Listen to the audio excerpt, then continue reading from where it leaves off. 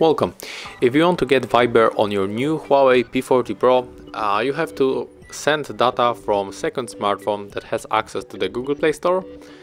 And right now, just download this application to your uh, second smartphone and open the app to transfer data. I'm going to use the phone clone, but you, but you can also uh, download the CLONEit. Uh, let's open the phone clone on the both smartphones. On your P40 Pro, tap on the new phone, and on your second smartphone, choose the old phone. Uh, this one is also Huawei, so right here we have to click the Huawei, and we are going to connect by the scanning QR code and we are now waiting until our devices connect.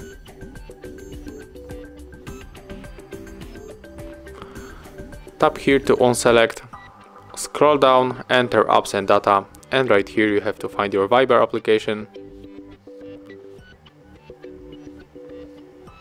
It is here, so let's tap on this uh, window to select.